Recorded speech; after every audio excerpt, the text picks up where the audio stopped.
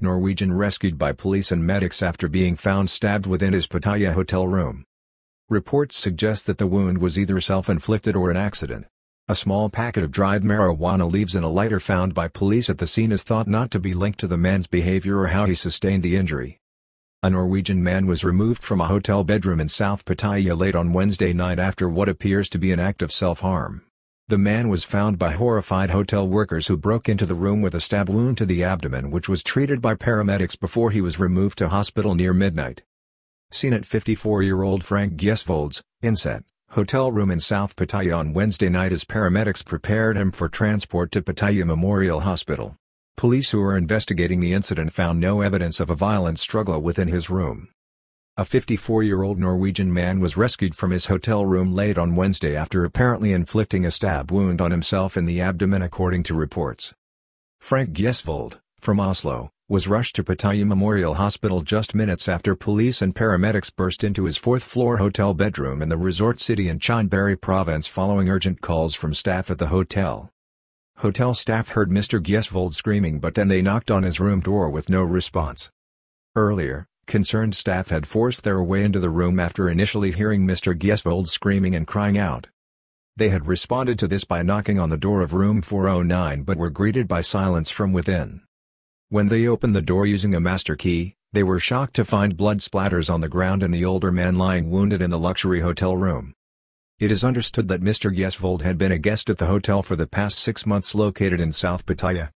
Police Colonel Yudhana Ruang Saku, Deputy Crime Suppression Chief in the city, confirmed that the Norwegian man was found with a stab wound while police also discovered a small packet of dried marijuana leaves together with a lighter. Discovery of marijuana leaves in the room thought not to be related to the man's behavior and injury.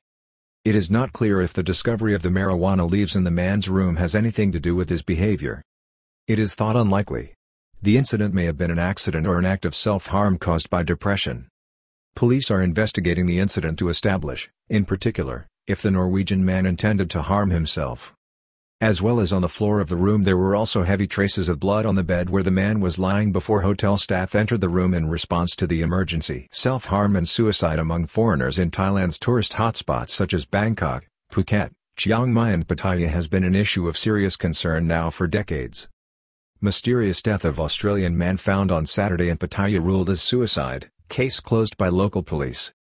Marijuana leaves are known to have a very low level of THC, tetrahydrocannabinol, the psychoactive ingredient as opposed to the buds of the plant which are more regularly used by recreational marijuana or cannabis users. In some cultures, the cannabis leaves are smoked but it is also known that this can leave the person imbibing the smoke with a severe headache. No traces of violence found in the room. Investigating officers on Wednesday night confirmed that they found no traces of violence in Mr. Gjesvold's hotel room.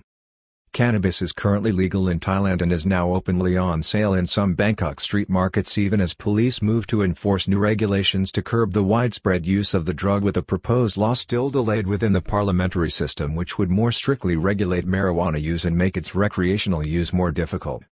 The law is expected to be passed by August. Until then, Police have confirmed that its use by adults over 20 is legal. They have even confirmed that the open public sale of marijuana for recreational use is also legal if the seller had applied for and been granted a valid license from local authorities. Growing public and official concern over current unrestricted adult recreational use of cannabis.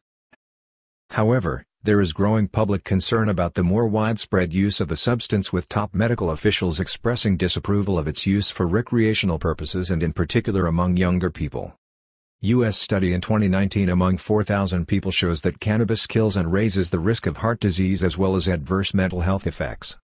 A recent survey showed that 72% of the Thai public had reservations about the move to deregulate and legalize the substance even though over half approved of the move as a commercial boost for struggling farmers.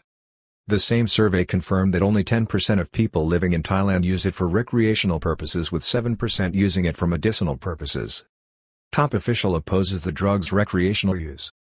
On Thursday, Dr. Kiatai Wongrajit, the permanent secretary at the Ministry of Public Health, the government ministry which championed the change of the laws concerning cannabis to allow its use for medicinal purposes, said that his ministry does not support the consumption of cannabis for recreational purposes.